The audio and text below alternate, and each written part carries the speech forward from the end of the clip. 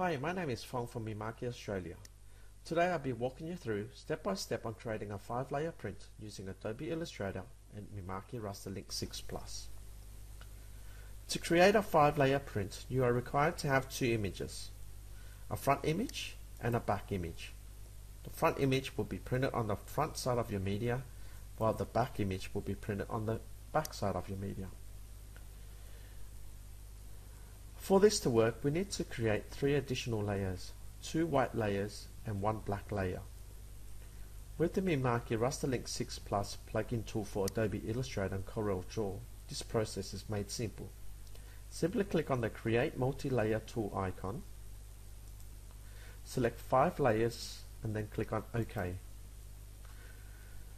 Now this has created the three additional layers we require for 5 layer printing. We now need to export the image to Rasterlink. To do this, click on the multi-layer printing tool. A pop-up window will appear. Now click on the Output button. Select the hot folder of your Mimaki printer and click on Save. To find this folder, double click on Local Disk C, go to MIJ Suite, go to hot folder and then select your printer. In this case, I'm using the UCJV 300-75 underscore demo. Then click on save. And then OK.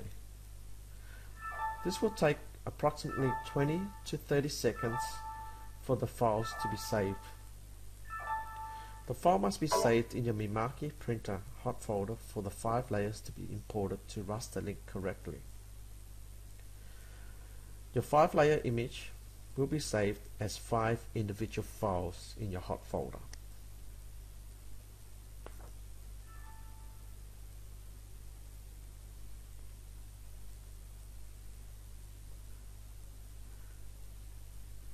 Once the 5 files have been saved, you can open up Rasterlink 6 Plus.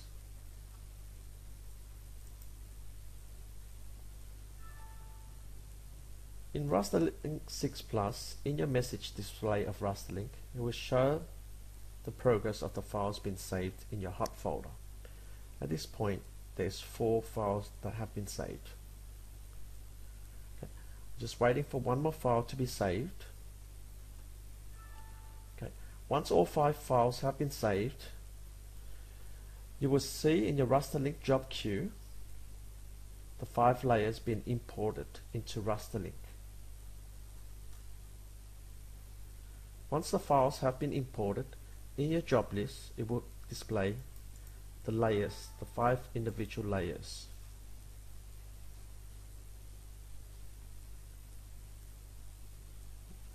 Should be coming through very shortly.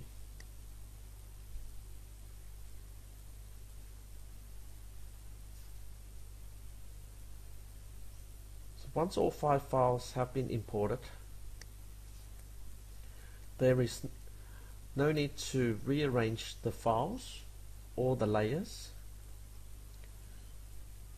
We can just go directly to quality select the type of media we want to print the image on and then execute the print. So now you can see that the layers are coming through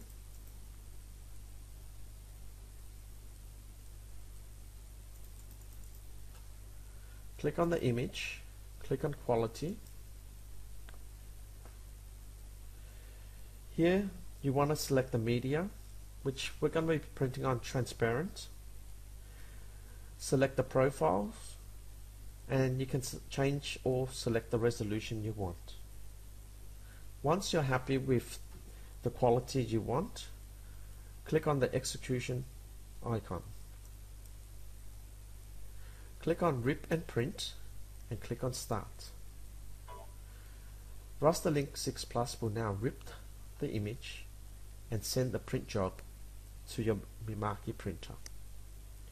This concludes the 5 layer print tutorial. Thank you for watching.